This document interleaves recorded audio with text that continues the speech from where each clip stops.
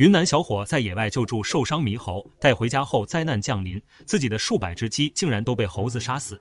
这样的惨烈场景在小伙家中接连上演，不料猴子却屡教不改，这是为何？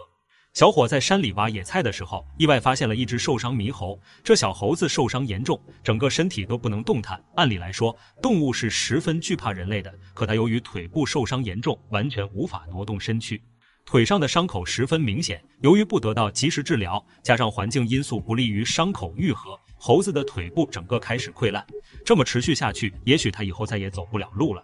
可小伙一开始并没有打算救助它。首先，猴子这东西性格古怪，它们脾气秉性十分奇怪。如果猴子突然暴起，那么自己可真是得不偿失。况且自己本身就没有救助猴子的能力。一旦惹上什么事，那可真是洗不脱嫌疑了。可猴子看到小伙，仿佛看到了救命稻草一般，不断的朝着他发出怪叫，仿佛在寻求男子救助一般。男子慢慢的凑上前去，观察着猴子的动向，看起来他现在并没有什么恶意。猴子也收起了自己难看的獠牙，自己如果不管的话，猴子很可能熬不过这几天。思来想去，男子还是决定救助猴子，随即将其带回了家。可小伙一定想不到自己将有多大麻烦。猴子得到男子救助，却将其家中上百只鸡杀死。猴子在野外受伤严重，幸亏得到男子的救助，不然自己性命堪忧。谁能想到，猴子伤愈后，竟然给男子带来了灭顶之灾。猕猴被男子带回家后，得到了及时的救助，可猴子受的伤实在是太严重了，不光是腿部有伤，就连胳膊也断了。为了让他恢复的快一些，男子的母亲还为他熬制了不少的中草药。猴子一开始的表现十分乖巧，知道恩人的救助大于山，对家里的猫猫狗狗都十分友善，果然是最有灵性的猴子。然而就在几个月后，猴子的做法让男子气到不行。男子回家后看到猴子竟然手握母鸡脑袋，而母鸡身上遍体鳞伤，已经咽了气。猴子的身上也有着不少的鸡毛，显然这是猴子的杰作，怪不得自己的家里近期老有鸡死亡。竟然是猴子做的，平时看着温温顺顺，没想到这么心狠手辣，背后的做法让人十分讨厌。男子现在无比厌恶猴子，我一家待你不薄，虽然没有什么好吃好喝的，但是让你在这里过得十分惬意。现在这样报复我，让我家产损失大半，实在是无法接受。男子做事就要打猴子，猴子被这一幕吓得连声尖叫，仿佛不知道犯了什么错一般。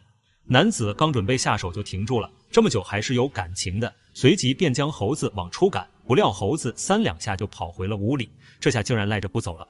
猴子杀鸡是为了报恩，这种说法让人实在是想笑，可事实的确如此。猴子作为有灵性的一种动物，他的学习能力极快。按理来说，野猴是很少猎杀家禽的，它也不是食肉动物，根本不会这样做。专家是被男子专程请到这里来的，就是为了知道猴子为何会这样做。专家来到后给出这样的说法，实在让人哭笑不得。